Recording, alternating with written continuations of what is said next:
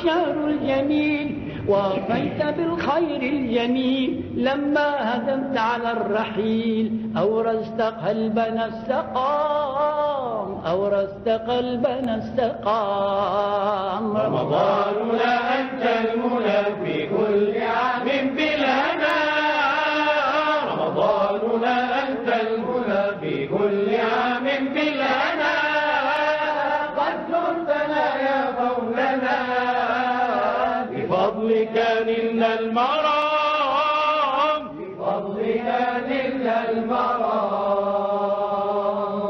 بكت الدنا لما مشيت تودع يسعد صباحك ميسان. صباح الخير سالي. صباح الخير لك وصباح الخير لكل مشاهدي الإخبارية السورية. يعني إن شاء الله هذا الشهر يكون مرق خير وبركة ويا رب مقبول أكيد. ودعائنا اليوم موجه إلى السماء بأنه يعم الخير والسلام. أرض سوريا المباركة.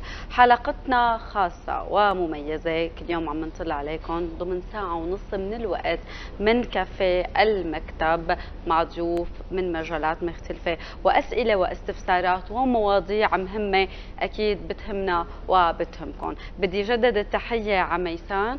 يسعد صباحك ميسان. يسعد صباحك عن جديد سالي وصباح الخير. لكن المشاهدين الإخبارية السورية إن شاء الله هالنهار يحملكم كل الخير آه، والسلام. يعني نحن بالعشر الأخير من شهر رمضان المبارك بليالي مباركة يمكن ابواب السماء مفتوحة بهي الأيام. خلينا كلياتنا آه، ندعي آه، الله يفرج عن الناس كلها الله يفرج عن كل الأشخاص يلي بنحبهم عن محيطنا. ندعي كل الشغلات يلي نحن محتاجين لها هي الليالي كثير طاقتها إيجابية سالي وفيها كثير من الروحانية ليالي القدر. صحيح. فعلا هي ليالي جميلة وعم نشوف آه، الإحياءات الموجودة آه، بكل مكان بالجوامع والأماكن الدينية. آه، يعني إن شاء الله هيك يا رب يمرق هالشهر بخير وسلام على كل مشاهدينا. فقرات متنوعة معنا ولكن بنشوف شو هي بعد هالفاصل.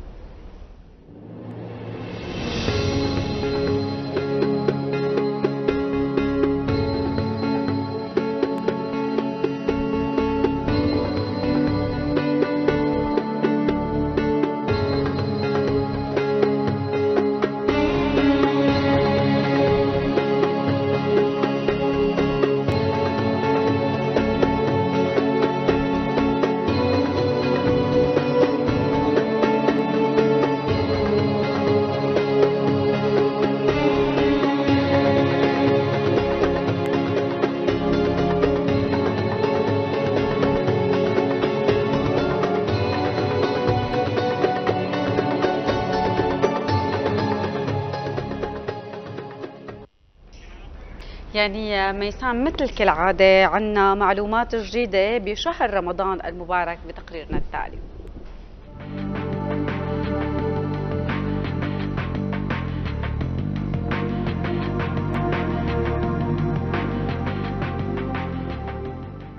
معلومات كتيرة منحب نتعرف عليها خلال الشهر الفضيل. أهمها الفوائد الصحية لشهر رمضان. فهل تعلم أن الصيام يعزز إزالة السموم من الجسم؟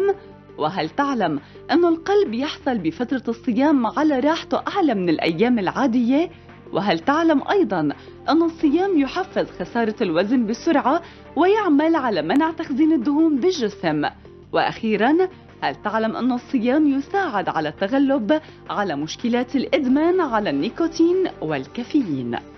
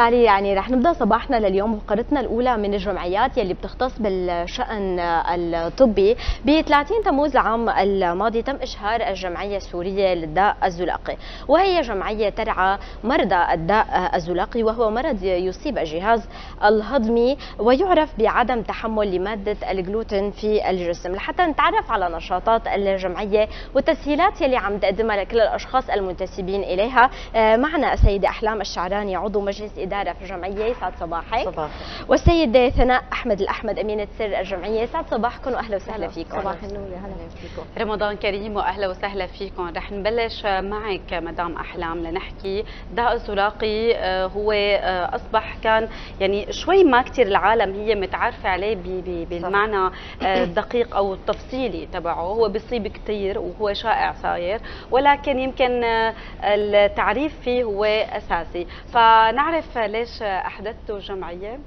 آه، مثل ما قلتي هلأ مرض الداء الزل- الزلاقي ما كان مرض معروف عنا وكان قليل آه، يعني يعتبر كان نادر حتى. آه، هلأ هو كان مشهور أكثر شيء بأوروبا هو مرض يعني بسموه للعرق الأوروبي بس لل يعني ما بنعرف شو اللي صار. صار عندنا هون فعلا إصابات كبيرة. وبمختلف الأعمار يعني ما عاد يخص بس الأطفال.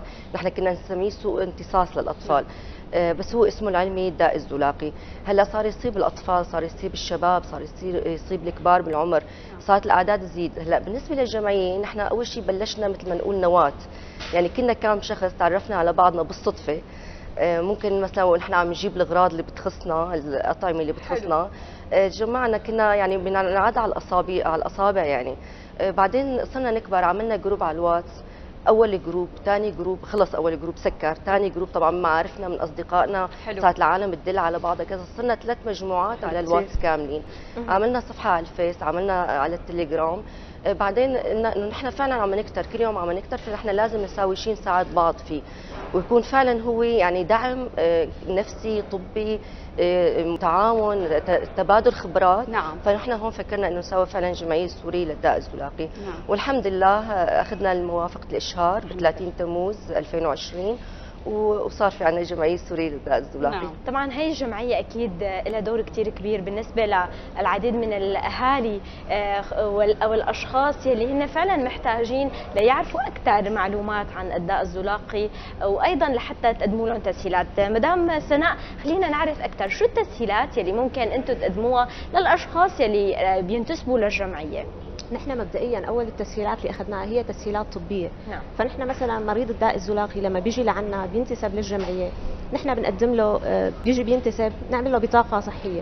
البطاقة الصحية بتخوله إنه هو يفوت على آه، المخابر يعمل تحاليل آه، تقريبا بياخذ عليها حسب. ونحن أكثر شيء لما قدمنا التسهيلات الطبية كانت آه، يعني ممكن المريض نحن يشخص عن طريقنا المرض ممكن ال- الخزعة ممكن آه، آه، تحليل الخزعة حتى.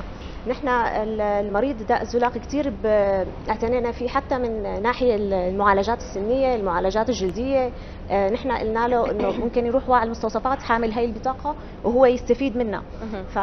فالمريض الداء الزلاقي لما بينتسب لهي الجمعية هو عم ياخذ كثير تسهيلات بكثير أمور طبية. يعني في حسومات طبية طبعا. وموضوع التنظير المعدي اللي هن بيحتاجوه تمام؟ والخزعة وحتى تحليل الخزعة. نحن هذا كثير مهم عنا. يعني إحنا عنا موضوع تحليل الخزعة هو الاكثر آه، يعني بي- بيكون بدقة لحتى بحاجة يشخص إلى ال- محابر خاصة. بشخص نعم. المرض. يعني هذا أكثر نقطة إحنا بشخص المرض لأنه نحن إلى الآن حتى ممكن إذا ما تحلل يعني إذا ما تحلل أو ال- الخزعة إنه آه، يعني آه، إذا ما عملوا تشخيص للخزعة وتحليل للخزعة ما عم يتشخص المرض صحيح بشكل صحيح إيه، يعني ما فينا نقول نحن إنه المريض الداء الزلاقي مجرد معدته عم توجعه نعم. مجرد تحسس من الجلوتين اللي عم ياخده إلا إذا هو عمل تنظير وأخذ خزعة وحلل هي الخزعة تمام هو هذا اللي بيصير يمكن تحليل عدم التحمل أو المضادات يعني الدم. مو دائما هذا التحليل بيكون صح. دقيق. دائما بحاجة تمام الخزعة وتحليل الخزعة تمام يعني ميسان يمكن عم نشوف بروشور مع. المدام نحن هذا البروشور تبع الجمعية السورية للداء الزلاقي نحن حتى. بنوضح يعني نحن حتى بنوضح فيه إنه شو هو التحاليل اللي لازم وحتى نحن وصلنا على فكرة للتحليل الجيني التحليل الجيني هو اللي بي إذا أط- أخذ الواحد عمل تحليل جيني فممكن يكون سلبي إذا سلبي خلص طول حياته ما عاد في عنده داء زلاقي أما إذا طلع إيجابي احتمال يعني إحنا بنعرف إنه التشخيص بيكون أحيانا من الصغر أحيانا ممكن هو كبير بعدين تحليل يصير فيه. هو شي يعني مجاني هو شو مكلف الجمعيه مكلف. عم مكلف ولكن الجمعية تقريبا ثلاث ارباعه عم عم. بتغطي. ابدا فهو عم تحليل يعني معروف عنه هو التحليل الجيني اللي هو رمزه HLA دي كيو 2 اتش ال اي دي كيو 8 هذا كثير هذا الرمز الجيني مثلا إذا في حدا عنده داء زلاقي بيقدر يعمله لأولاده مثلا ليطمن عليهم؟ الصح. طبعاً، وهذا هذا الصح. يعني إحنا دائما عندنا المريض آه، داء الزلاقي بخاف أولاده يكونوا معه لأنه في هو نسبة يعني. فنحن لحتى ننفي هذا الموضوع نحن بنحس أغلب ال- الأهالي اللي عندها داء زلاقي الإبن معلش يروح يساوي؟ أنا كل اولادي لازم أنا يروح يساوي هذا. شو اسمه؟ لحتى أنا أحميه من هو وصغير لحتى لأنه ال- الطفل طالما هو مريض داء زلاقي يعني وما عم ننتبه عليه هو عم بياخذ كل شيء سيء بجسمه يعني. صح صحيح. رح ننتقل عند حضرتك مدام أحلام. يعني آه، يمكن في آلية للانتساب. مو آه، آه، خلينا نخبر كل اللي الأشخاص اللي عم يتابعونا. إذا حابين ينتسبوا لهالجمعيه شو هي؟ كيف بيقدروا يدخلوا لها عندنا نوعين من الأعضاء بالنسبة للجمعية. عندنا عضو مستفيد اللي هو المريض الداء الزلاقي. وهون في أي مريض بالداء الزلاقي في ينتسب لعنا على الجمعية. المطلوب منه إنه هي أوراق رسمية معروفة يعني صور شخصية وكذا بالإضافة. وهذا أهم شيء اللي هو ال- ال- الت- التشخيص تبعه اللي عبارة عن تحليل الخزعة من التنظير. هلا في كثير عنا منتسبين بيجوا بيقولوا إيه نحن مضيعينا أو نحن مثلا نحن تشخصنا على التحليل وكذا. أو في منهم بيجوا لعنا حتى إنه نحن قالوا لنا معنا داء زلاقي بس نحن ما سوينا لا تحليل ولا خزعة. فنحن كجمعية بنساعدهم بنوجههم وبنوجههم كمان على الم- أماكن الحسومات اللي نحن حسنا نحصل فيها حسومات. إن كان مخابر أو إن كان الأطباء. حتى مشكورين. أنا بدي اعقب كمان على زميلتي. نحن عندنا الأطباء الهضمية والأسماء الكبيرة بالبلد كلياتهم ساعدونا يعني كلياتهم بدون أي استثناء. نحن ما في ولا طبيب توجهنا له. كاختصاص هضميه وما كان داعم لجمعيتنا. وكثير منهم قدموا حسومات عالية جدا. إن. كان موضوع التنظير وإن كان بموضوع المعاينات حتى في منهم قدموها مجانية. مشكورين جميعا.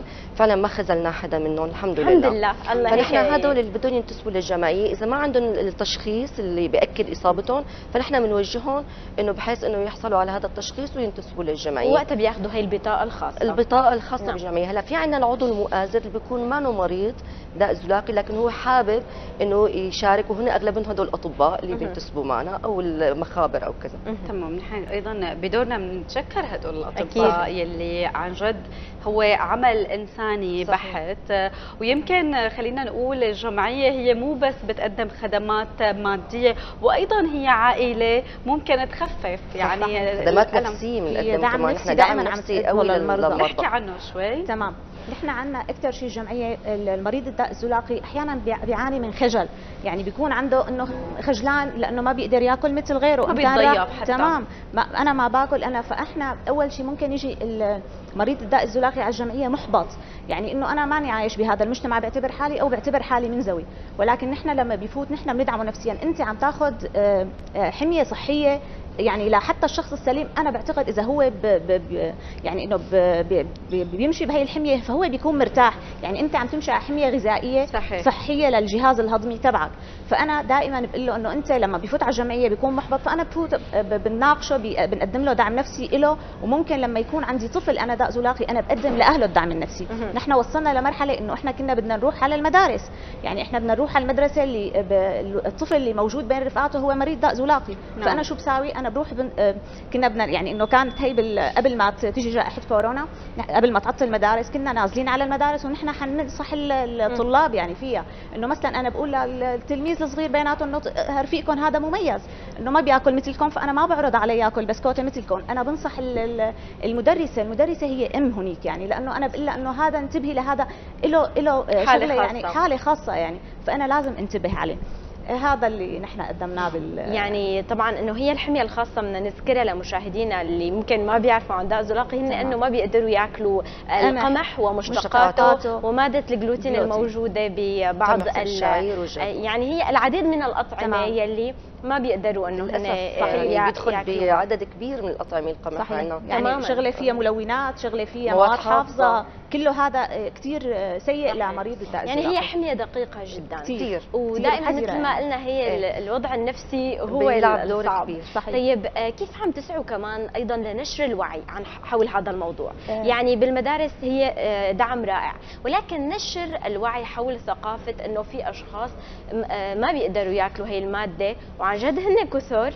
بس يمكن ما كان كل المجتمع آه، بيعرف. فيهم ولكن لأنه توفرت المواد وصار عندنا بسوريا لازم نذكر إنه صار عندنا بسوريا صح. شركات خاصة مختصة بهذا صح. الموضوع هي عم ترعى هذا الموضوع يعني عندنا منتجات كثير. كبيرة صار حتى طبعاً. كان في كافيه جديدة فاتح إنه بس لرعاية اللي- آه، المرضى عن جد. حمية خاصة للجلوتين يعني صحيح free gluten حتى صحيح. حتى السكر السكري. يعني صحيح. هذا الشيء صحيح. أيضا يمكن. هو صار نسبة وعي كبيرة لأنه. كمان. الأشخاص بحاجة إنه يروحوا. يقعدوا كافيه طبعاً. ويقدروا. ياكلوا يعيشوا حياة طبيعية يعني. بالنهاية يعني. هذا المرض هو بس إنه الحمية اما الحمد لله نحن ما بناخذ حبة دواء زيادة. صحيح. ما عندنا يعني نحن دوانا هو طريقة الطعام. يعني أكل صحي. يعني طريقة الأكل هي هي دوانا. فيعني هو إنسان طبيعي مجرد ما التزم بالحمية إنسان طبيعي. طيب ننتقل شوي لنشاطاتكم. آه، بتعملوا آه، مدام احلام نشاطات بالجمعية. خبرينا عن هي النشاطات. طبعا آه، هلأ نحن عندنا سوينا قبل ندوات توعيه في منها غذائية وفي منها طبية. هلأ عندنا خلال شهر رمضان مثل ما قالت زميلتي إنه كان عندنا زيارة للمدارس وكان عندنا إفطار مأدبه إفطار بس للأسف سكرت المدارس. سكرت وال... وال... والأهالي سافروا يعني. بالعطلة الطويلة. فالمأدبه أجلناها لوقت ثاني إن شاء الله. هلأ مثل ما حكينا شهر أيار هو شهر التوعية عن السيلياك، نعم. نحن بسوريا ب 18 أيار عملنا اليوم التوعية عن السيلياك، فبهذا اليوم إن شاء الله إن شاء الله رح نحاول يكون في بازار خيري ليوم واحد. وفي عندنا مأدبة طعام كمان بس رح تكون للأطفال السيلياكيين والسكريين. لأنه هدول الم- المريضين المرضين متلازمين عند الأطفال يعني دائما طفل السكري على الأغلب بيكون معه داء زلاقي. وداء الطفل داء الزلاقي ممكن يكون معه سكري يعني مو أكيد فنحن هون عاملين هاي المأدبة لحتى يعني ينبسطوا. ينبسطوا ويتعرفوا على بعض ويعرفوا إنه الاثنين عايشين حياة طبيعية وبيحسنوا مع مع المرضين كمان يعيشوا حياة صح. طبيعية يمكن لأنه مريض السكري خاص. إذا التزم بحمية الجلوتين ممكن ممكن مو أكيد بمراقبة دكتوره ممكن ما يحتاج لدواء السكري وممكن طبعا إنه يحتاج على حسب نوع السكري اللي عنده. تماما. مدام أحلام حتى ال- الشيء الخاص بالأطفال قد إيه مهم أنتم تجمعوا الأهل أيضا طبعاً. آه ل آه، مشان طريقة أحيانا التعامل مع الطفل لأنه عم يواجهوا الأهالي بهذا الموضوع صعوبة جدا وخاصة الطفل ما بيعرف شو يعني حمية غذائية بده ياكل شيبس بده ياكل تمام. كل شيء فيه سكر. فقد إيه الأهل أيضا عنصر مهم للتوعية صح. يعني. نحن عملنا ندوة ب ب بمج... بمركز ثقافي بأبو رمانه. يعني إحنا جبنا الأهالي وجبنا الأطفال معاهم. نحن كان في عنا آه، جبنا أخصائية تغذية روعة التجار ونحن كمان جبنا المهندسة غذائيه وحكينا بهذا الموضوع. حلو. قديش إحنا كان عنا مهم إنه كل الأهالي تعرف شو أهمية هي الحمية الغذائية. نعم. شو أهمية إنه الطفل إنه تدعميه. شو أهمية إنه هو لازم يلتزم بهي الحمية الغذائية. وما يخرج عنا ولو سنتي واحد مثل ما بنقول.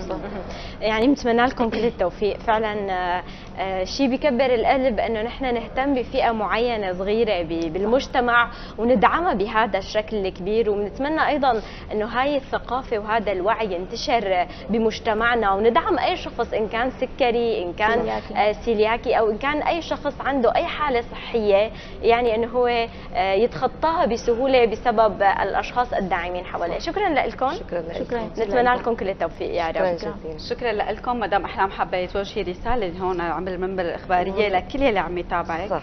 أنا حابة أقول إنه أي مريض بالداء الزلاقي بتمنى إنه يتوجه للجمعية وينتسب لها لأنه نعم. هو رح يكون رح تكون الجمعية بيته الثاني.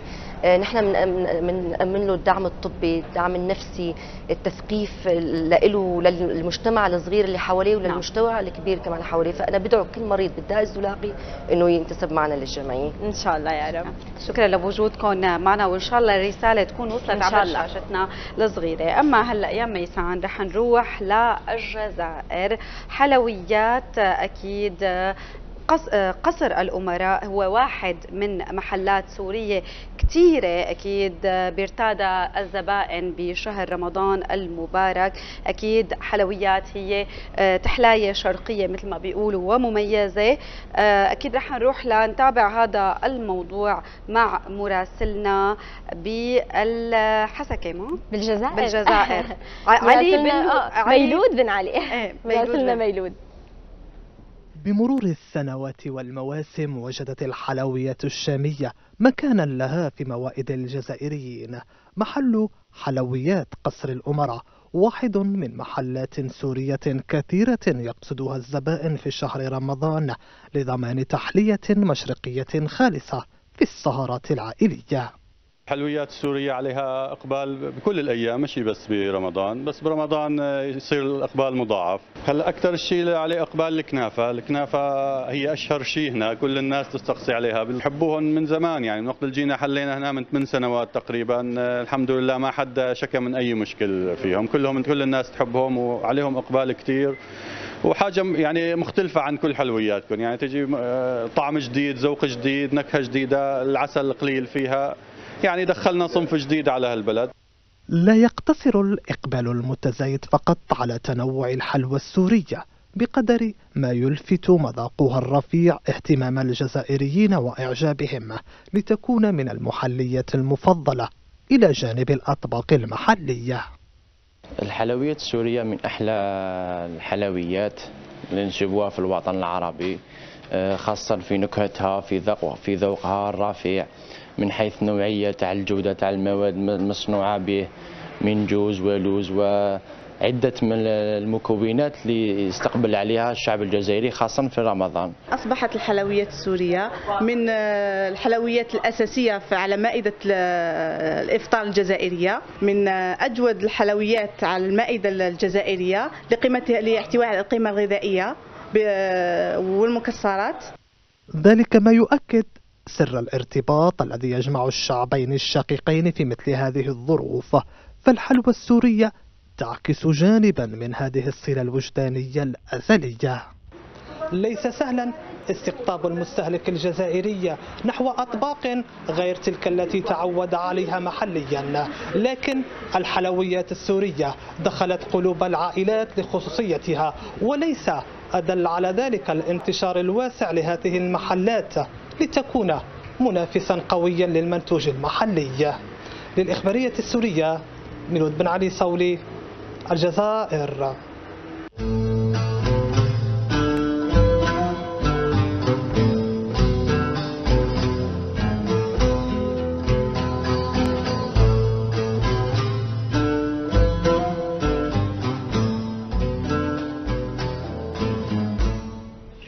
سالي يعني قديش حلو كنا عم نتابع إنه الحلويات السورية وهي من الحلويات الشرقية المميزة موجودة صحيح. بالجزائر بكل البلدان العربية.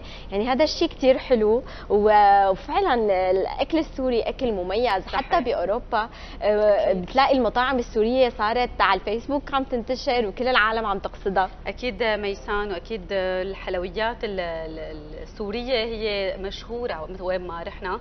وخاصة بالجزائر يمكن أنا خربت بالعزكه والجزائر كونه كله بيشتهر بالحلويات. معناتها واصله نحن حلوياتنا لكل أرجاء العالم. نعم أما هلأ رح نروح لفقرتنا يلي بتخص الشباب والشباب يلي بيعكس الحب واللي عم يرسخ قيم.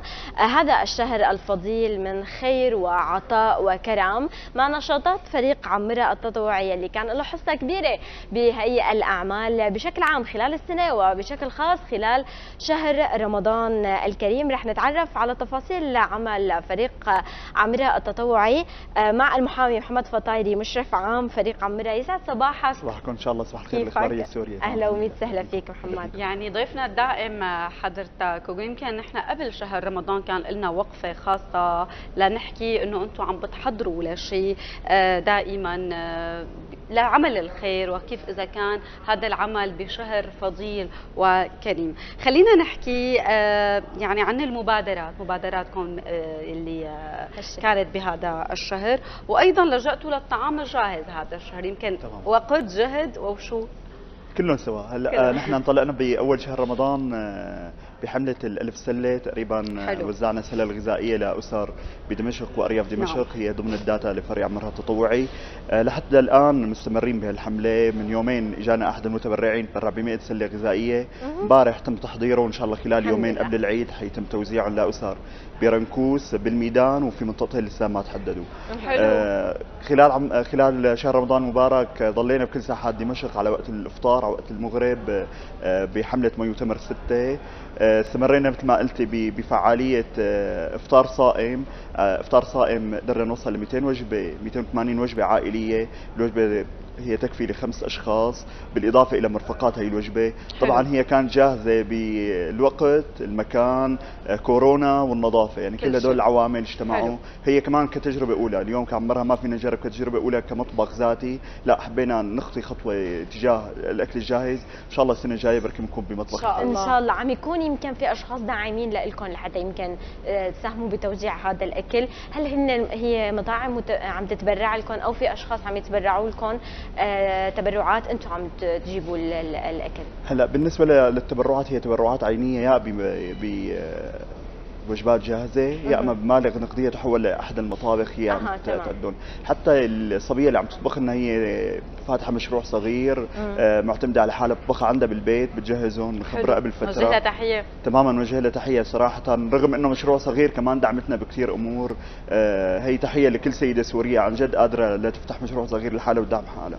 تمام. يعني هدول الأشخاص قديش هم داعمين سالي وبيوقفوا مع العالم يعني كثير حلو. إنه هي عاملة مشروع بنفس الوقت ويمكن بيكون عندها عائله عم تطبخ لعائلتها ولكن مخصصة وقتها. يمكن هذا كمان أيضا آه، عمل تشكر عليه وتشكر عليه جميع النساء آه، السوريات.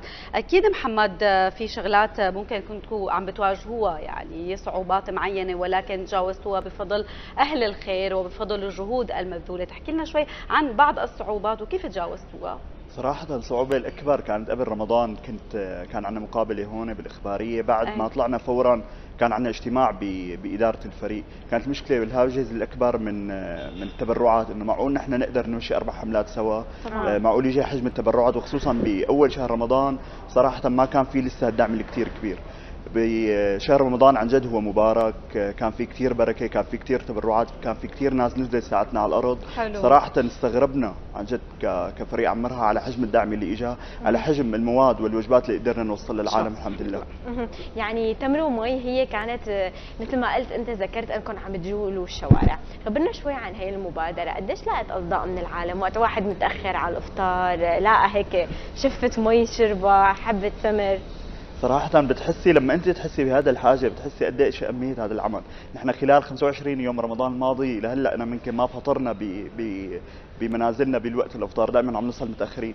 فاحيانا عن جد نحن بنكون بحاجة لهذا الشخص اللي يوقفنا يعطينا تمرة يعطينا مي يعطينا قطعة معمول عن جد لأنه أحيانا نحن بنكون ناطرين الأذان مناطره بس لتشربي نقطة مي صحيح. آه الفيدباك تبع العالم كان كثير كبير. كثير عالم شيروا على صفحاتهم الشخصية على صفحات آه، وسائل التواصل الاجتماعي عن إنه شخص طلع لي فجأة وأنا أنا كنت عطشان ورايح على بيتي وزع لي قديش نحن حلوة عن جد نشتغل هالشيء تفاجئنا بنفس الوقت بعالم هن بيقاموا بمبادرات فردية. من يومين كنا عند كازية الزاهره استغربنا بصبيه عم توزع سندويش شاورما. آه عم فكرناها هي لجمعية معينة أو لا. آه لا أنا حابة أشتغل شيء لحالي وحبيت انزل فطر العالم. قدم خيري تماما. في كثير أشخاص عن جد اتفاجئ فيهم إنه لا أني لحالهم حاملين أناني مي آه، مرة كنا بمنطقة يلدا عم نوزع وجبات فشباب صغيرة حاملين أناني مي وكاسات عم يفطروا العالم ضمن ساحة يلدا فكمان هي كمبادرة هي بتشجع الناس الثانيين بتشجع الأطفال بتشجع الشباب إنه حتى ضمن حيهم إنه أنا ما ضروري أتأطر ضمن مؤسسة أو جمعية أو أو أو أنا ضمن حي قادر أعمل شيء عن جد. يعني واحد وقت بيشوف خير كمان سالي بيتشجع على تقديم الخير. يعني صح. الناس بتشجع بعضها على هذا التكافل الجميل. وهون بنقول إنه الخير لساته موجود بالسوريين الحمد لله. السوريين وقلوبهم على بعضهم. يمكن واجهنا أزمات من الحروب اللي واجهتنا ومن الأزمات الاقتصادية الصعبة كمان اللي عم نمر فيها. لهلا نتيجة الضغوطات الخارجية ولكن هيدي المبادرات الفردية وشبابنا اللي عم يشتغل ممكن يخفف هيك من عبء شوي كتير كبير بقلوب كتير يمكن بحاجة لنحن اليوم نعطيهم ولو تمرة مثل ما صح. آه، حكيت. احكي لنا أكثر آه، كيف هيك عم بتلاقي البسمة على وجوههم وشعور العطاء شعور السعادة اللي عم يمنحوكم إياه. كمان أنتم عم تاخذوا شعور سعادة مو بس عم تعطوا. أكيد هذا شعور السعادة اللي عم ناخذه عم يكون حافز لنا لنستمر. صراحة بشعور السعادة بالضبط أو بالضحكة بتوصل لما عن جد توصلي سفرة أو وجبة إفطار لناس عن جد هي ما قادرة تحط.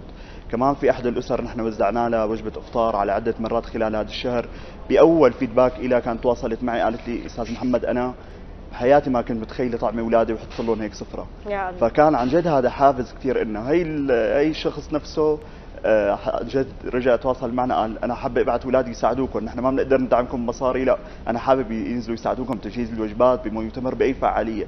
فأثبتت عن جد إنه الشخص يمكن ما عنده قدرة مالية ما عنده الوقت بس أي شخص فينا عنده حاجة آه، بيقدر يشبعها مجرد ما أشبع عن جد هو بيقدر يشبع حاجات الناس باي بأي طريقة ممكنة. سريعا خلينا نعرف محضرين شيء للعيد؟ أكيد. نعرف شو شو محضرين. آه، أول شيء نحن أعددنا غرفة ضمن مكتب فريق عمرها بمنطقة الحلبوني هي غرفة ملابس العيد. آه تقريبا وصلنا ل 300 قطعة ثياب. آه من بداية بعد ليلة القدر إن شاء الله عندنا فعالية السحور نحن قدام جامع الأموي.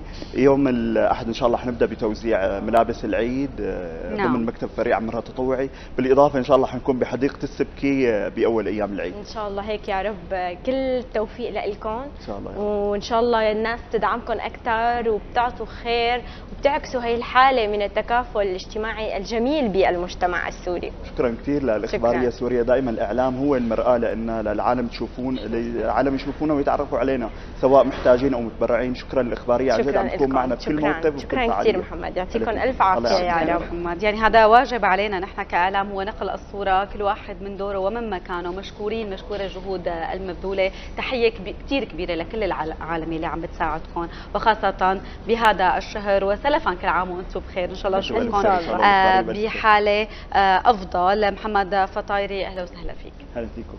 سالي ما هلأ رح نروح لوين؟ هلأ آه كمان حلويات على الحسكة. على الحسكة. هلأ رح هلا أنا على مسحراتي.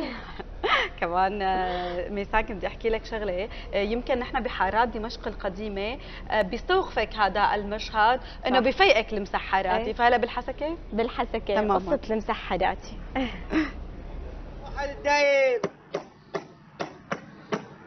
يا نايم وحد الدايم. بتلك الكلمات مع نقر منظم ومعتاد على الطبلة الصغيرة التي يحملها محمد. ويتجول في شوارع مدينة الحسكة لإيقاظ النائمين لتناول السحور والاستعداد لصلاة الفجر وقراءة القرآن. أنا جيت من حلب عرفت علي. هنيك عندنا أجواء بحلب في مسحراتي بس هون حبيت أنا بالحسكة شفت منه ما في مسحراتي مشان هذا الشيء أنا طلعت. إنه أجواء إنه أرجع الأجواء بالحسكة. رمضان.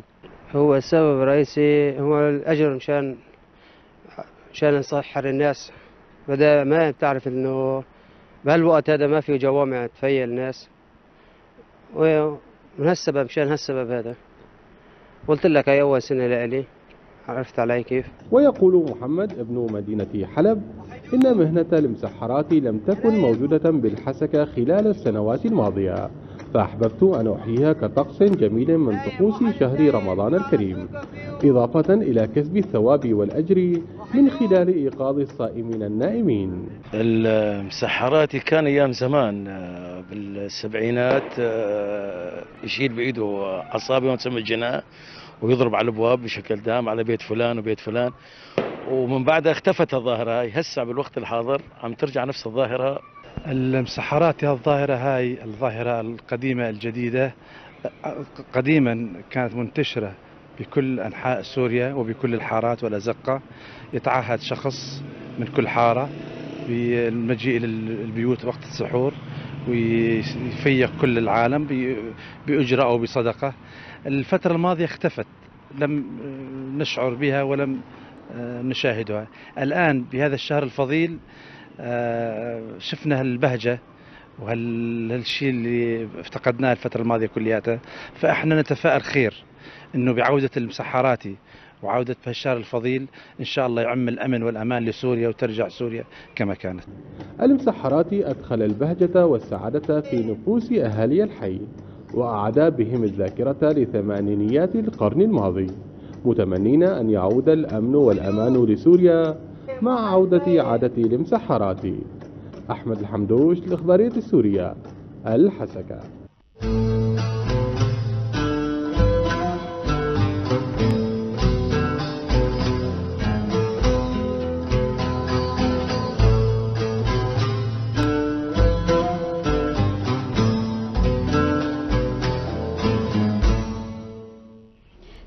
يعني أي حالة مرضية عم تتطلب الحذر واخذ يعني الحيطة. وخصيصا بشهر رمضان الكثير من التساؤلات بتدور للمرضى وخصيصا مرضى الغدة الدرقية دائما بيكون لهم تساؤلات حول الصيام. هل هن بيقدروا يصوموا خلال هالشهر الفضيل أو لا؟ وإذا صاموا شو هي الشروط يلي لازم يتبعوها لحمايه صحتهم وصحة جسمهم؟ هالموضوع رح تجاوبنا عليه الدكتورة لما حديد أخصائية غدد سم وسكري سعد صباحك دكتورة وأهلا صباح الخير صباح النور. أهلين. يسعد صباحك دكتورة رمضان كريم. يمكن دائما العالم بتتساءل هيك بتسأل بالشارع هيك أحيانا بين بعضها بجلسات إنه هل مريض الغدة قادر على الصيام بشكل متواصل أو في يصوم أيام ويقطع أيام. طبعا هدول الأمور كلها للمرضى بتجاوبين عليها أنت فخلينا نحكي عنها. هلأ هي نتيجة شيوع مشاكل الغدة الدرقية. يعني عندنا كثير ما في حدا إلا بيصادف سواء بشغله سواء ببيته بأقاربه إنه في حدا مصاب بمشكلة بالغدة الدرقية. فهي شائعة كثير هذا بخلي يقول إنه هالموضوع لازم نركز عليه.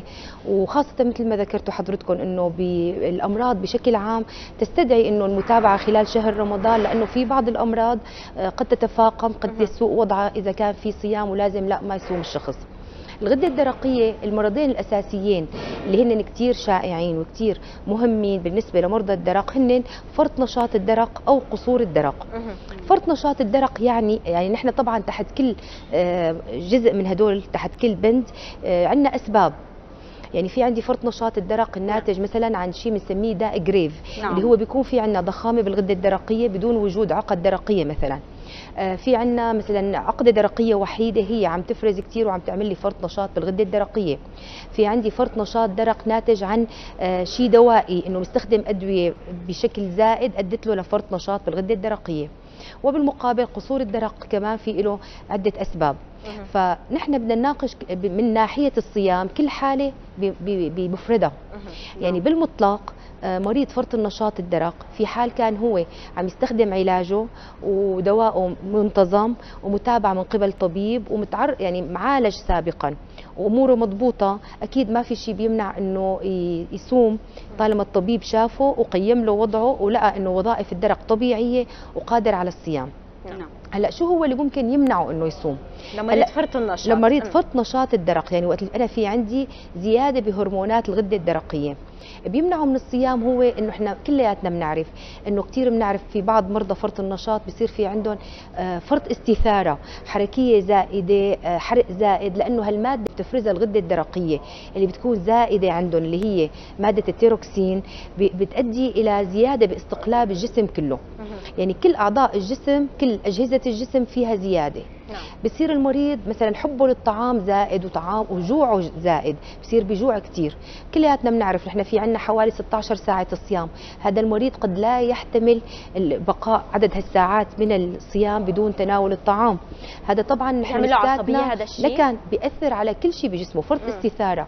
الجهاز العصبي بصير متوتر جسمه بصير الهضم عنده بيكون زائد فهو بيتعرض لجوع زائد. الخفقان. نعم. قلبه في عنده زيادة بالخفقان في عنده توتر.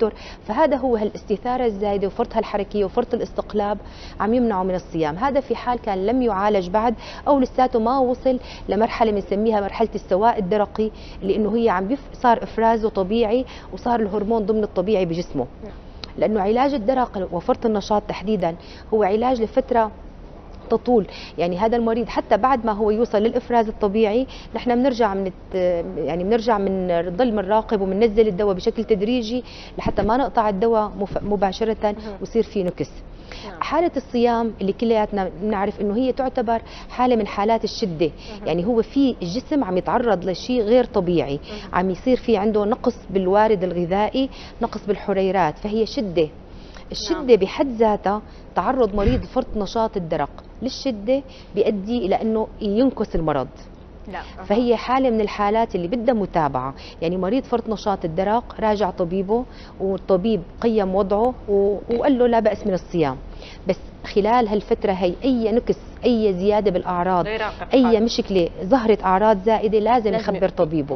وبنهاية شهر رمضان لازم يراجع طبيبه ليقيم وضعه خلال شهر رمضان شو صار في عنا. لأنه مثل ما ذكرنا الصيام حالة شدة قد تؤثر على حالة نعم. الصيام. هلأ حكينا عن بالنسبة لفرط نشاط الدرق خلينا نحكي على الحالة الأخرى من اللي هي القصور. قصور الدرق كمان مثل ما ذكرنا إنه هو القصور في له كثير آه، أسباب. آه، قد يكون بسبب استئصال الغدة الدرقية قد يكون بسبب خلقي شيء مناعي. يعني مثل ما بنعرف فيه بنسميه قصور درق مناعي إنه في أضداد تفرز تؤدي إلى كسل بالغدة الدرقية وعدم عمل الغدة الدرقية بشكل جيد وما في إفراز للهرمون الدرقي. تمام. آه، أو آه، أحيانا شيء دوائي. بس صار في عندنا قصور درق صار عندنا العكس. صار في عندنا نقص بالهرمون الدرقي صار في بطء صار في آه، عدم حرق زايد. وهي تتظاهر يعني كثير ببدانه مثلا ممكن أحيانا بوذمات ببطء ببرد زائد. هدول الأشخاص آه، ما في شيء بيمنعهم من الصيام لأنه هن بالعكس يعني بيأخذوا دواهم وبيقدروا آه، استقلابهم ناقص يعني ما رح يشعروا بالجوع كثير ما رح يتعبوا كثير إلا إذا طبعا كان هالقصور آه، هذا ناتج عن عم يستخدموا هن بالأساس أدوية لمشكلة مرضية ثانية نعم. في عندهم شيء قلبي في عندهم مشكلة مرضية أخرى. فإذا قصور الدرق هن من المرضى الأسهل. بس بس مشكلتنا مع مرضى قصور الدرق بحب نوه. إمتى ياخذوا دواء الغدة؟ نحن من المعروف إنه المشكلة يومية؟ الدواء الغدة الدرقية اللي لقصور الدرق اللي هو الهرمون الدرقي التيروكسين يجب أن يؤخذ على معدة فارغة وعلى الريق ففترة الصيام هو بده يكون يعني صام المريض يجينا لفترة نعم. الإفطار ما حيقدر ياخذ الدواء ويستنى. نحن بدنا يعني فترة الانتظار لازم تكون ما بين ثلاث أرباع الساعة للساعة قبل ما يتناول الطعام بعد الدواء. فلذلك منبه كل مريض هو قصور درق. وبيتناول الهرمون الدرقي آه، زمن تناوله للدواء. نحن غالبا بنقول لهم إنه بعد الإفطار وتناول الفواكه والحلويات وخلصنا من تناول الطعام. حوالي الساعة 11 11 ونص بيوقفوا تناول الطعام. طبعا بيستمروا بتناول الماء ما في مشكلة مشان ما يعطشوا كثير الماء أما سواء المحلات أو هيك شيء لا, لا تمام الماء كثير ضروري يضلوا مستمرين بتناوله معلش مشان ما يعطشوا بالنهار. حوالي الساعة 2 2 ونص. ممكن يتناولوا حبة الغدة الدرقية اللي هي إنه بيكون صار لهم بحدود ساعتين بدون بدون طعام نعم. وبينتظروا ساعة ثلاثة ثلاثة وشوي بيتناولوا طعام السحور نعم. كثير مهم يعرفوا ساعتين قبل الحبة وساعة بعد الحبة ما لازم آه، يتناولوا الطعام. يمكن التقيد بمواعيد الدواء هو كمان حالة يمكن بتساعد آه، على الشفاء وعلى تحسن الحالة. وبيقدر يصوم وهو مرتاح تمام. يعني مثل ما حكيتي. دكتورة كثير من مرضى الغدة بيعانوا من ارتفاع بحرارة جسمهم. وأيضا وقت الصيام هذا الشيء بيسبب عندهم تعب زيادة. فكيف فيهم آه، يعني يحافظوا على حرارة جسمهم؟ شو الطرق اللي لازم يعملوها مثل ما ذكرنا إنه فرط نشاط الدرق بصير في فرط استقلاب فبصير في فرط استثاره وفرط حرارة. ميل للجو البارد بتضايقوا من الشو بزياده نعم. يعني كلياتنا بنتضايق من الجو الحار بس هن هدول أكثر بيكون في عندهم, عندهم. تعرق شديد لأنه عندهم تعرق عندهم فرط حرق زايد. نعم. هدول نحن بدنا نحاول إنه هن يكثروا من السوائل والماء مم. تحديدا. بعد فترة هذا في حال هن آه، يعني تقيموا إنه فيهم يصوموا. آه، صاموا فترة الصيام. بعد الصيام لازم يتناولوا الماء بكميات كبيرة لأنه بصير عندهم تعرق وفقد للسوائل كثير يتناولوا الماء بكميات كبيرة. يحاولوا يتجنبوا الخروج بالجو الحار خلال فترة الصيام. يقعدوا دائما بأماكن مكيفة ومهواة ما يقعدوا بمكان شو بزيادة. بالعكس يعني يحاولوا يحافظوا على حرارة جسمهم ضمن الحرارة الطبيعية. دكتور هل النظام الغذائي له دور آه، أيضا عند مرضى الغدة الدرقية؟ آه، المادة الأساسية اللي بتتدخل بهرمونات الغدة الدرقية هي مادة اليود. آه، فاليود لازم يتوافر بطعامنا بالمقادير المحددة لحتى نقدر نحافظ على سواء درقي. فالطعام هو يعني إذا مريض مشخص فرط نشاط درق أو قصور درق هو بس يكون في عندنا طعام متوازن آه، طعام عم يحوي كمية اليود بالكمية المقررة. يعني نحن يفترض ما ناخذ لا يود بكمية زائدة ولا ناخذ الشيء ناقص اليود اللي بيصير بيساوي لنا بعض المشاكل بالغدة الدرقية وممكن يعمل ضخامة أو حجم زائد للغدة الدرقية. طب وين بيقدروا يلاقوا اليود؟ هلا الملح بنعرف. يضاف له أكيد. اليود. يعني نحن الشيء اللي صار اللي هو يودنه الملح كثير ريحت من ناحية الهرمونات الغدة الدرقية واستغنينا كثير عن إنه نخبر المريض لازم تاخذ يود إضافي أو شيء في حال وجود ضخامة أو سلعة درقية. نعم. اليود نحن بنلاقيه كثير بالمأكولات البحرية. يعني يفترض إنه هيك يقال إنه لازم كلياتنا ناخذ على الأقل بالاسبوع أو كل 10 أيام شيء من المأكولات البحرية اللي بتحتوي اليود. بس وجود الملح الميودن ساعد كثير على إنه لا نحن موجود اليود بالجرعة الكافية بالجرعة اللازمة ضمن غذائنا وما في داعي إنه كمان كثير نبالغ أو ندور كثير على مصدر إضافي لليود. نعم يعني كل شيء باعتدال دكتورة أكيد أكيد. وممكن يحقق نتيجة. يعني كل شيء زايد لو بحاجة له بيسيء بيسيء. بيزيد. وكل شيء ناقص بيسيء. فهو الاعتدال والشيء الصح تماما. خلينا نحكي أيضا دكتورة يعني يمكن حضرتك بخلال شهر رمضان المبارك بتشوفي حالات عديدة ممكن يلي بلشوا بيصوموا بالأوائل الشهر الفضيل استمروا وما تعبوا رغم إنه هن عندهم مشاكل تؤدي للتعب. في منهم هن مستقرين ولكن على الصيام تعبوا بهيدي الحالة في نصائح معينة أو مثلا يلي عنده حالة معينة ومستمر فيها باستقرار بتخلي عليها يعني ما في داعي يوقف صيام نحن من ناحية الأمراض الغدد بيواجهنا غير مرضى الدرق في عنا مرضى البدانة في عنا مرضى النحافة الزايدة. فمرضى البدانة أنا لقيتهم من الناس اللي كثير ارتاحوا وكثير يعني تحسنت وضعيتهم وتحسن وضعهم على على على الصيام.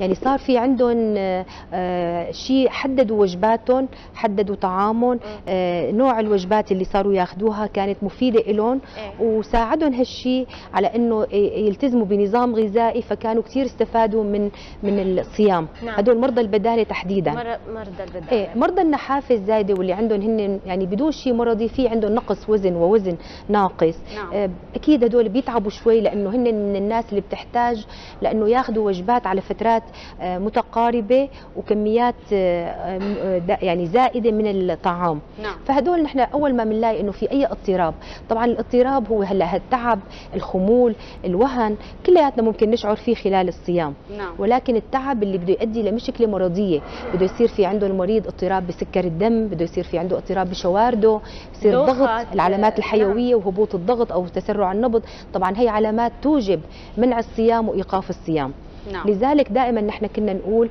إنه أي مريض بيعاني من مشكلة صحيه لازم إنه هو يراجع طبيبه لحتى المريض الطبيب هو اللي يقيم إنه هالشخص هذا في يتابع صيامه ولا لا. أنا ما فيني تابع الصيام ولازم إنه يوقف الصيام. يعني دكتورة معلومات كثير قيمة.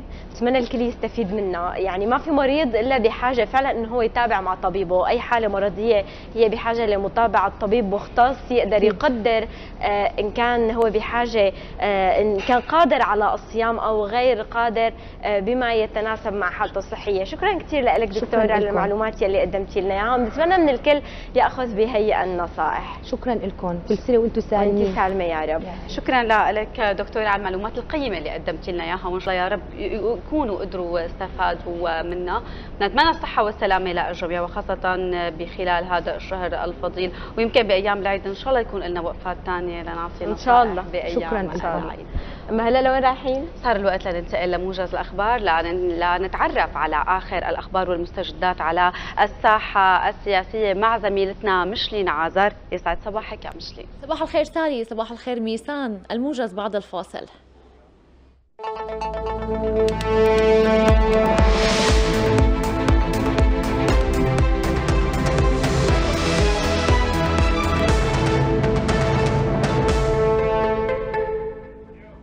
أهلا بكم.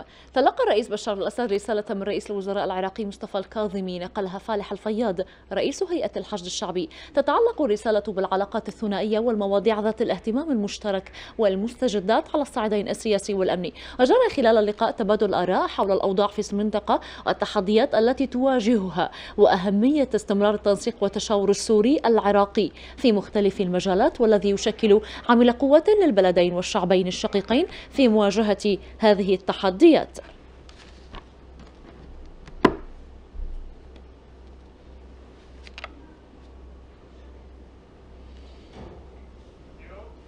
وأحياء ليوم القدس العالمي انطلقت مسيرة في دمشق من مدخل سوق الحمدية باتجاه الجامع الأموي ومعنا من هناك موفد الإخبارية نوار صقر مرحبا نوار. نعم مشلين تحية لك تحية لمشاهدي الأجواء الإخبارية السورية. نعم تضعنا في صورة الآن في سوق الحميدية في منطقة دمشق القديمة حيث يحيي السوريون والفلسطينيون آه، يوم القدس العالمي. من هنا من دمشق القديمة ميشلين يحيي السوريون والفلسطينيون. يوم القدس العالمي. طبعا هذه القضية الفلسطينية التي لم تغب يوما عن آه، آه، ضمير السوريين ووجدان الشعب العربي السوري وكل شرفاء العالم حقيقة آه، في العالم. طبعا هذا اليوم الذي خصص ليكون في آخر يوم جمعة من شهر رمضان المبارك للتضامن مع القدس للتضامن مع الشعب العربي في فلسطين المحتلة ضد ممارسات كيان الاحتلال الإسرائيلي لأبناء شعبنا الفلسطيني من تهجير ومحاولة لتهويد القدس محاولة لمحو الإرث والأثر العربي من فلسطين المحتلة. اليوم يتضامن الشعب السوري الذي لم تغب عنه القضية الفلسطينية يوما. في هذا اليوم يوم القدس العالمي حشود غفيرة أتت من مختلف المناطق والمنظمات والجهات السياسية والحزبية في سوريا وعدد من المنظمات والفصائل الفلسطينية. آه، سنجري هنا عدد من اللقاءات. يعطيك العافية. يعطيك العافية. اليوم رسالتكم من المشاركة آه، في آه، إحياء هذا اليوم. نحن نحيي هذا العام اليوم العالمي للقدس. بهذه المناسبة نوجه رسالة. أننا نقف إلى جانب أهلنا آه، في فلسطين المحتلة وتحديدا ما يجري في العاصمة آه، الفلسطينية القدس من هبة جماهيرية واسعة في مواجهة الاستيطان وقطعان المستوطنين الذين يرتكبون مزيد من المجازر بحق أبناء شعبنا. نحن اليوم ومن دمشق الصمود. نقول بأن آه، الفلسطينيون وكل الشعوب العربية الحرة تقف إلى جانب أهلنا في فلسطين المحتلة إلى أن تتحرر القدس. آه، شكرا جزيلا. فضيلة الشيخ اليوم المشاركة أهمية المشاركة في آه، آه، هذا اليوم لتبقى القدس رمز لدى الأمة العربية والإسلامية وكل الشرفاء في العالم. بالنسبة للمشاركة في هذا اليوم لأبناء الشعب الفلسطيني وأبناء سوريا وأبناء محور المقاومة من أجل أن نحفز أبناء الأمة العربية والإسلامية من أجل الاندفاع صفا واحدا لتحرير المسجد الأقصى وتحرير القدس وتحرير فلسطين من شمالها إلى جنوبها ومن شرقها إلى غربها. وهذا ما هو إلا تعبير من أجل أن يفهم كل أبناء العالم أن الشعب الفلسطيني لن يتخلى ولن يتخلى عن فلسطين مهما طال الزمن ومهما بعدت المشقة ومهما زادت المشقة. فإننا سنبقى على المقاومة مع محور المقاومة سوريا وإيران والمقاومة اللبنانية والفصائل الفلسطينية وكل أبناء الأحرار العالم في العالم سنبقى حتى نحرر فلسطين كاملة. وأسأل الله عز وجل أن يكون ذلك قريبا. وشكرا لكم. نعم ميشلين. يعني مهما حاولوا محو الإرث العربي ومهما حاولوا قتل الروح الوطنية والقومية لدى الشعوب العربية ولدى شرفاء العالم في الوقوف لدى جانب الشعب العربي الفلسطيني الذي يعاني من الممارسات الإرهابية لدى آه، آه، أو من جانب كيان الاحتلال الإسرائيلي لن يستطيعوا. وكما آه، يقال كل ليمونة ستنجب طفلا ومحال أن ينتهي الليمون بهمة هذه الشعوب وبهمة هذه المشاركة وبهمة وبأهمية أيضا يوم القدس العالمي. نعم مشلين إليك نعم. سنكون معكم بطبيعة الحال نعم. بالصوت والصورة في رسائل أخرى لمواكبة إحياء هذا اليوم من دمشق. صحيح. نوار صقر موفد الإخبارية السورية إلى سوق مدخل سوق الحميدية حيث مسيرة شعبية لإحياء اليوم القدس. شكرا جزيلا على هذه المعلومات. أعلن رئيس المحكمة الدستورية العليا محمد جهاد اللحام أن المحكمة تلقت ستة طلبات تظلم من المرشحين الذين رفضت المحكمة طلبات ترشحهم لمنصب رئيس الجمهورية العربية السورية. أوضح اللحام أن المحكمة الدستورية العليا تسلمت خلال مدة تقديم طلبات التظلم للمترشحين في انتخابات رئيس الجمهورية المحددة بثلاثة أيام. ستة طلبات تظلم مؤكدا أن الهيئة العامة للمحكمة سوف تجتمع وتبت بهذه التظلمات في المواعيد والمهل القانونية. المحددة. جدد مندوب سوريا الدائم لدى الأمم المتحدة بسام صباغ خلال جلسة لمجلس الأمن عبر الفيديو. جدد التأكيد على أن سوريا لم تستخدم أسلحة كيميائية على الإطلاق. أيدنتها لاستخدام هذه الأسلحة من قبل أيا كان وفي أي زمان ومكان. مشددا على أن القرار العدائي الذي تم تمريره ضد سوريا في مؤتمر منظمة الحظر يمثل أنموذجا سيئا عن تعامل المنظمة مع دول الأطراف فيها ورضوخها لنفوذ دول غربية ترى فيها أداة لخدمة أجندتها السياسية. أصيب عدد من الفلسطينيين واعتقل آخرون مساء الخميس جراء اعتداء قوة الاحتلال الإسرائيلي عليهم في حي الشيخ جراح بمدينة القدس المحتلة. ذكرت وكالة وفاء أن قوة الاحتلال اقتحمت حي الشيخ جراح واعتدت على الفلسطينيين بإطلاق الرصاص وقنابل الغاز السام ما أدى إلى إصابة عدد منهم بحالات اختناق واعتقال آخرين.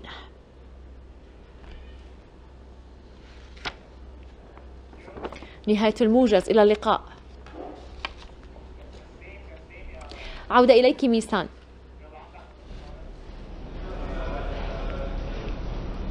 شكرا لك زميلتنا مشلين عازر مكفين أنا وميسان بباقي فقرات صباحنا لليوم. وين وصلنا؟ رح نروح هلا على خبز رمضان يعني هي المعروك مشهور بكل المناطق بسوريا وأيضا باللاذقيه له حصة كثير خاصة ونكهة مميزة. رح نتعرف على خبز رمضان مع زميلتنا علا ناصر.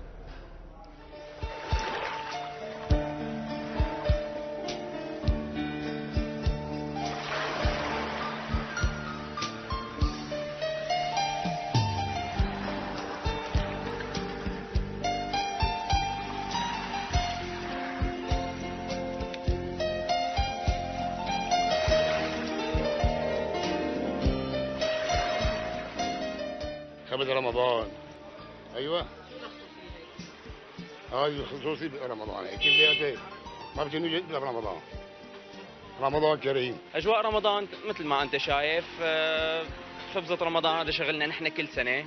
هذه المهنة مهنتنا صرنا شي بالمهنة شي 30 سنة.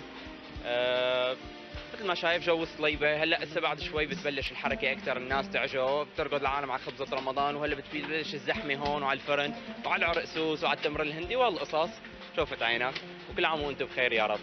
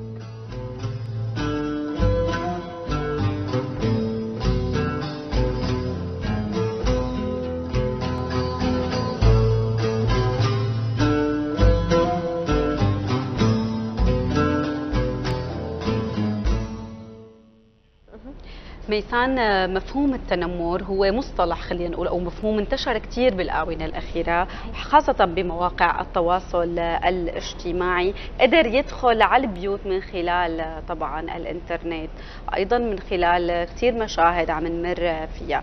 كيف إذا كان التنمر وصل لأطفالنا وأولادنا؟ آثار سلبية جدا عم نلاحظها آه، من خلال أيضا التعامل. ممكن يكون التنمر هو حالة نقل من المدرسة لخارج المدرسة مع للبيت أو من البيت للمدرسة ضمن نعم. آه، الأقران. يعني أكيد هدول تفاصيل وأسئلة كثيره نحن ممكن نسألها أو مشاهدينا هلا يسألوا عنها. حجاوبنا عليها الأخصائية الاجتماعية والتربوية رولا بريمو. سعد صباحك. أهلا وسهلا فيك صباح الخير سعد صباحك هلا. نعم. رولا يا ترى السؤال هل هو التنمر خرج من بيوتنا أم دخل على بيوتنا؟ دغري هيك نبدأ. يعني التنمر هو مثل ما حكيتي حضرتك سلوك عدائي بيمارسوا الأقوى على الأضعف. هلا آه خرج بالحقيقة أنا برأيي من بيوتنا لأنه الطفل أول دائرة هو بيعيش فيها هي البيت. فالتنمر يعني نحن في كثير تصرفات بحياتنا ما كنا نقول إنه عنوانها التنمر بس هلأ صرنا نعرف إنه هي شكل من أشكال التنمر. فنحن بالبيت وقت الكبير بيمارس سلطته على الطفل بطريقة خاطئة بتكون هي آه، سيطرة أو ممارسة التنمر من الأقوى على الأضعف. نعم. فهذا الضعيف يلي تمارس عليه التنمر داخل الأسرة وقت يطلع لبرا ويصير على احتكاك احتكاك مع أي شخص أضعف منه نعم. فهو رح يمارس نفس الممارسة عليه. إذا الفكرة إنه الأقوى على الأضعف. نعم. فكل شخص تمارس عليه التنمر وقت بيقابل أي حدا أضعف منه فهو رح يمارس عليه التنمر. تنتقل هي الحالة. أكيد. والتنمر هو يعني له أشكال كثيره في تنمر جسدي في لفظي. يعني في شغلات نحن بنسميها المزح. بالحقيقة المزح كثير من الأحيان هو نوع من أنواع التنمر لأنه المزح غالبا بيضحك الشخص يلي هو عم بيمزح. وبيأذي الآخر. وبيأذي الشخص اللي عم يتمارس عليه المزح. هلأ ممكن يكون مضحك للأشخاص المحيطين بس هو الشخص يلي المزح معه نعم. هو شكل من أشكال التنمر. نعم. لاحظوا إنه هو بعدين رح يعمل نفس الشيء اللي انعمل معه مع حدا ثاني نعم. لذلك هي دائرة مغلقة عم ندور فيها. المزح هو نوع من أنواع التنمر وفي كثير شغلات يعني في أشكال كثير بحياتنا. نعم. نحن ما لنا عرفانين إنه فعلا هي تنمر. مدام ريا يعني أيضا يمكن حطت إيدها ميسان مدام على على الوجع. أحيانا المزح مؤذي. المزح طبعا جدا. وبكون يعني ما بين المزح والجد تشتفي القلوب. يعني تمام. يعني تمام. تحت هذا الشعار وتحت هذا البند ويمكن الأطفال خلينا نخص بما أنه نحن موضوعنا عن الأطفال إنه أي كنت عم بمزح معه هو ضرب رفيقه وهو سبه تحت شعار المزح.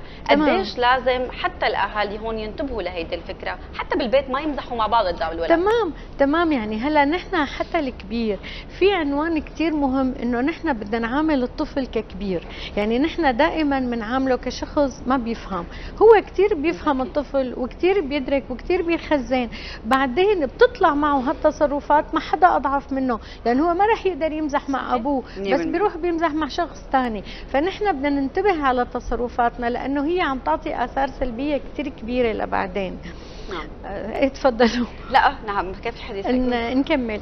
يعني آه، ما بعرف رجعت ضاعت الفكرة. إيه، تماما. إيه بيعطي يعني آثار سلبية يمكن كثير آثار سلبية لأنه هو الشخص يعني الشيء اللي عم بيتمارس عليه عن جد إنه ضاعت صحيح. طيب رح رح نسأل سؤال إنه يمكن بيسألوه الأهل اللي عندهم طفل متنمر. بيقولوا يا ترى ليش أنا ابني آه, آه، مزعوجين منه الآخرين؟ ليش تمام. أنا طفلي متنمر؟ ليش ابن الجيران متضايق من ابني؟ ليش مم. رفقاتي أو الانسه بالمدرسة عم تقلي تعي شوفي ابنك طفل متنمر عم يزعج الآخرين؟ تمام تمام. شو السبب؟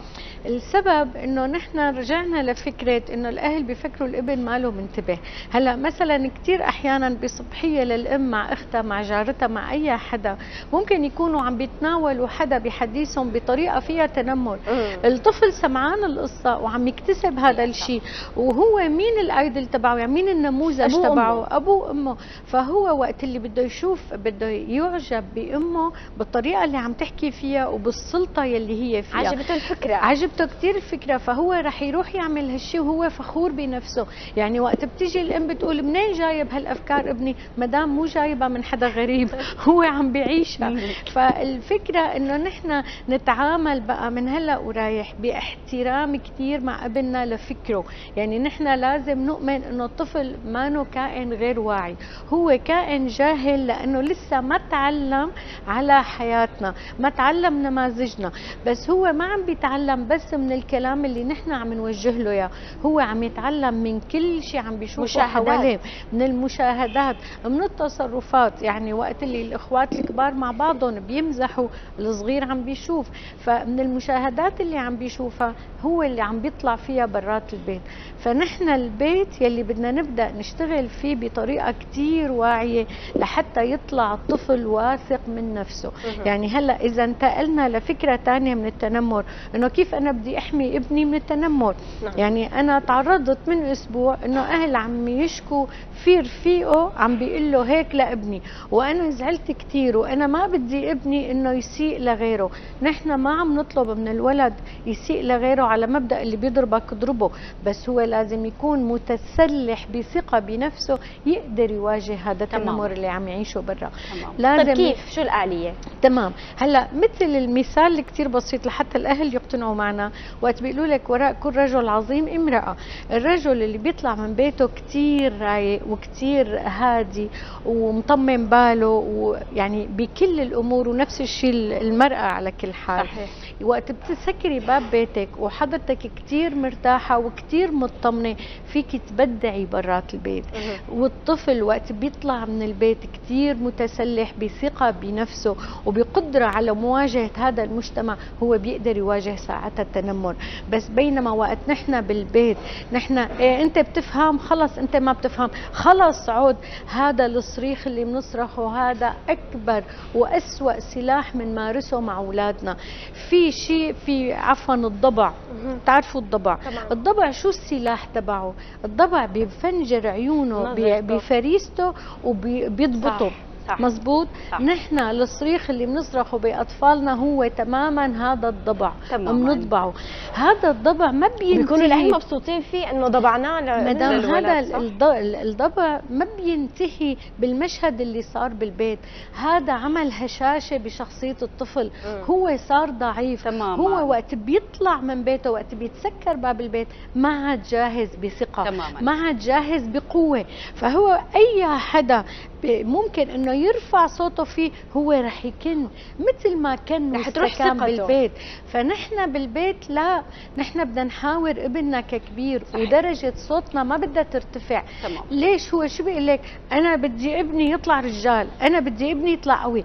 وقت اللي ابنك بده يطلع قوي ما رح يتعلم من صوتك العالي صوتك العالي رح يكننه صح. ورح يضبطه بينما وقت بتحكي معه بحوار بصير هو عنده أساس نفسي قوي صحيح. ليطلع من البيت ويواجه العالم يعني نقطة كثير مهمة حكيتيها عن جد أنا يعني بحب الطفل مع الطفل هو. مشروع أب ومشروع زوج ومشروع آه، زوجة طبيب يعني ومشروع صبي مهندس. أو امرأة أو, أو بنت نفس يعني. كلهم مشاريع امهات يعني هون عملية البناء يلي هن على عاتق الأهل كتير كبيرة. هلأ بيقولوا إنه نحن ليش نحن خاصين الطفل؟ لأنه الطفل البنية هو عنده هو اللي نحن. تماما.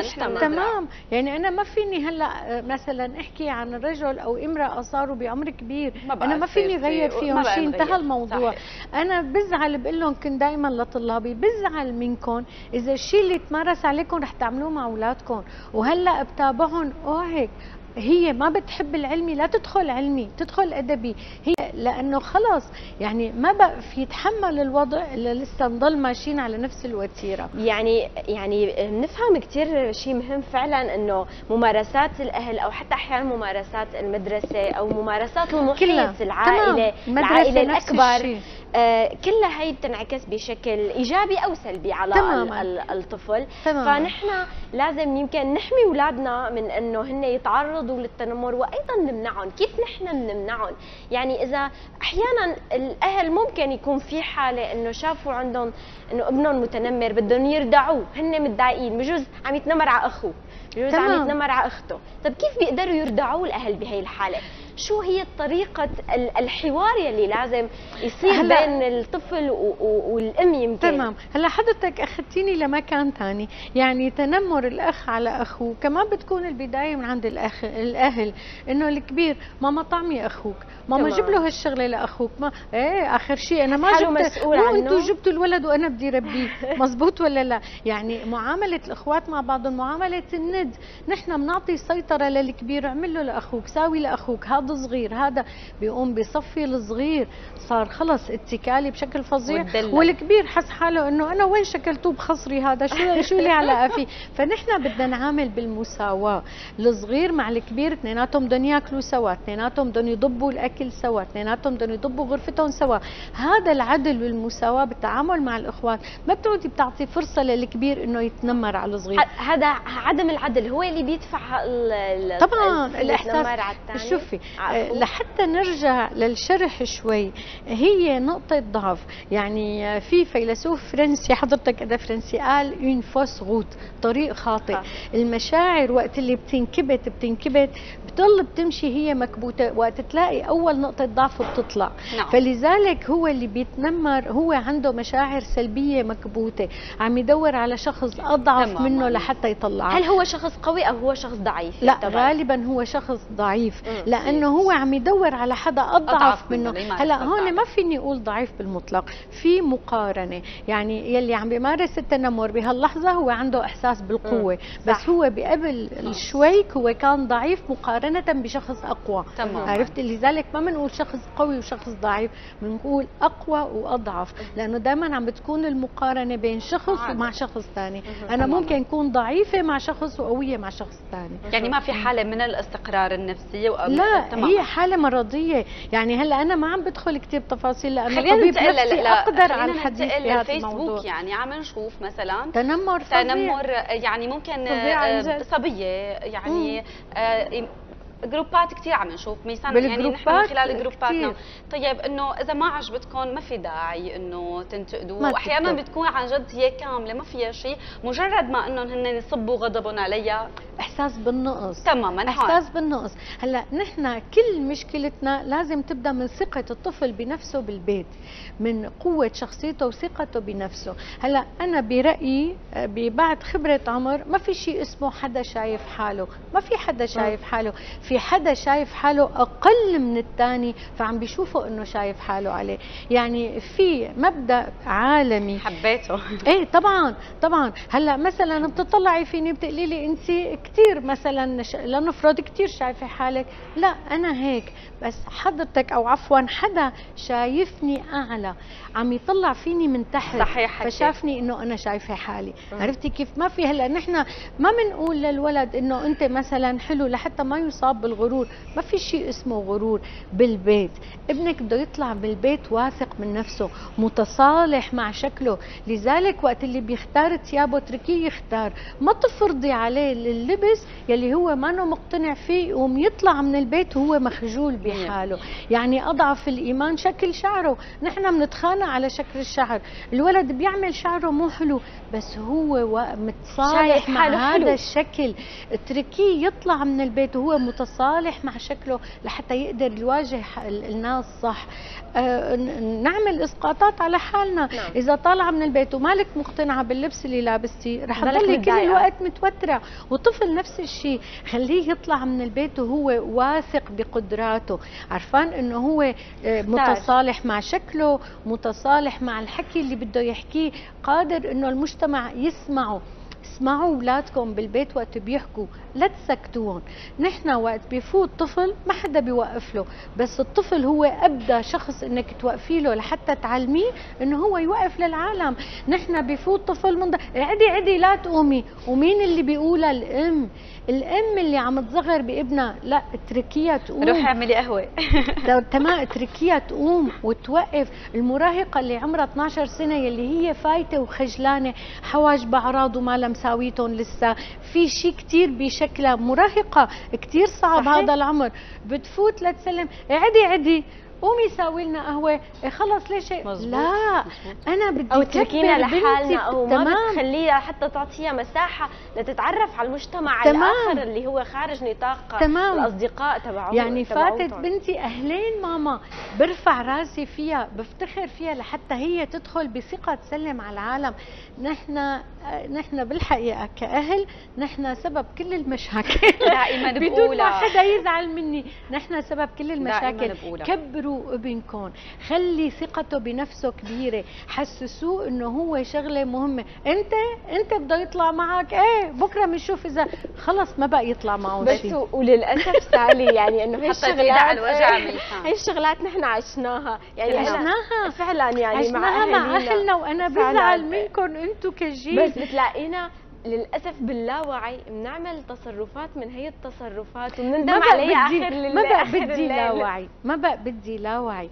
طالما إنه صار في عندي وسائل إني أنا أعرف إنه هدول التصرفات غلط ما بقى بدي شيء باللاوعي. بدي شيء كله بالوعي. يمكن مرحلة النضوج ميسان أحيانا تخرجي فيها عن تربيتك أكيد مو التربية اللي فيها شوية سلبيات. لأنه القدمه القدمه كلاسيكية كلاسيكية. يعني تبع إنه أبوك جاي من الشغل ما بدي أسمع نفسك. طب إنه يعني إنه بده ينام البابا. بده ينام. إيه أو نوم القيلوله لا لا انتبهوا.